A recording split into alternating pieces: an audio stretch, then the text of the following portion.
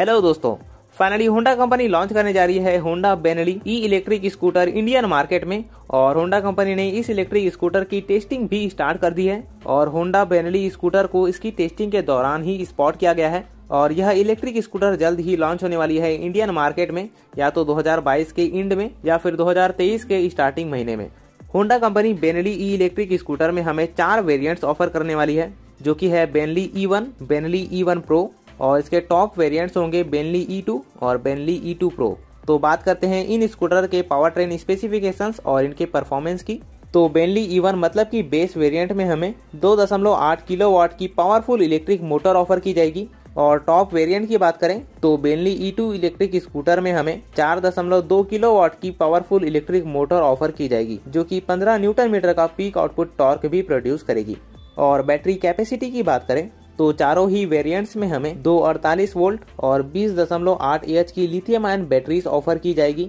और यह battery swappable batteries होने वाली है। मतलब कि हम लोग होंडा कंपनी के स्वैपिंग स्टेशन में जाके डिस्चार्ज बैटरी को देकर फुल्ली चार्ज बैटरी ले सकते हैं, पर इसका कुछ चार्जेस भी हमें पे करना होगा। और परफॉर्मेंस की बात करें तो होंडा कंपनी क्लेम करती है कि बेस वेरिएंट के जो दो इलेक्ट्रिक स्कूटर्स हैं, वह स्कूटर हमें सिंगल चार्ज में सत्यासी किलोमीटर का ट्रैवल करके देगी और उसके साथ ही 30 किलोमीटर प्रति घंटे की टॉप स्पीड भी प्रोवाइड करेगी। जबकि इसके टॉप वेरिएंट में हमें ट्रैवलिंग रेंज ज़्यादा देखने को मिलेगा और उसके साथ ही टॉप स्पीड की बात करें तो तिरालीस से साठ किलोमीटर प्रति घंटे की टॉप स्पीड देखने को मिल सकती है। तो डेली लाइफ स्टाइल के लिए बेस्ट स्कूटर्स होने वाली हैं। Honda Benly E electric scooter में हमें काफ़ी सारे फीचर्स भी ऑफ़र किया गया है, जैसे कि इनमें हमें डिजिटल इंस्ट्रूमेंट क्लस्टर ऑफ़र किया जाएगा और इन इलेक्ट्रिक स्कूटर के फ्रंट सेक्शन में हमें LED headlight turn indicators round shape rear view mirrors और फ्रंट सेक्शन में हमें एक रैक भी देखने को मिल रहा है, जिसमें हम लोग अपने सामान को कैरी कर पाएँगे। और इसके अलावा इस स्कूटर का फ्रंट व्हील है 12 इंच का और रियर व्हील है 10 इंच का। इसमें हमें एलॉय व्हील्स ऑफ़र किया गया है।